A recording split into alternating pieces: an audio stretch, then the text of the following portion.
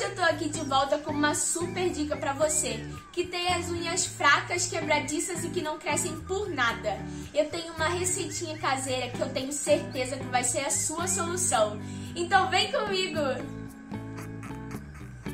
Bom, pessoal, nós vamos precisar de um dente de alho, 10 cravos da Índia e um pedacinho de babosa.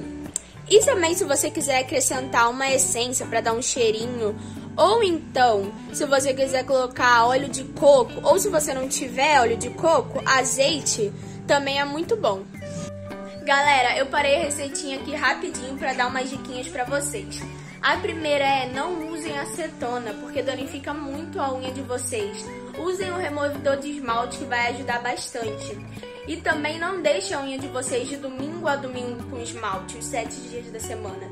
Deixe pelo menos dois dias ela respirar sem nada, que vai ajudar bastante. E sempre antes do esmalte, passa alguma base, porque o esmalte tem muitas composições químicas, então ele pode ajudar a danificar as suas unhas também e deixá-las fracas. E é isso, agora vamos voltar pro vídeo.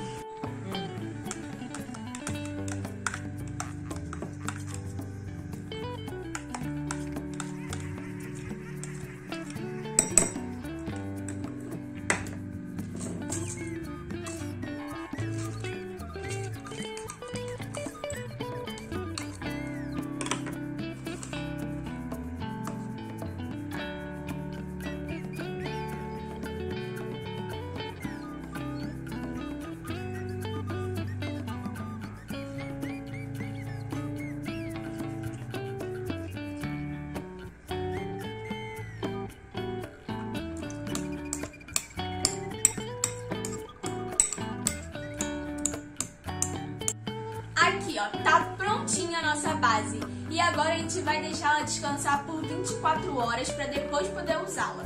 E lembre-se de passar aqui embaixo da unha e também aqui em cima, tá bom? Não só aqui na unha normal. E é isso, galera. Eu espero muito que vocês tenham gostado. Se vocês gostaram, deixe seu like, se inscreva no canal e não se esqueça de acionar o sininho de notificação para não perder nenhuma novidade. Um beijão e tchau!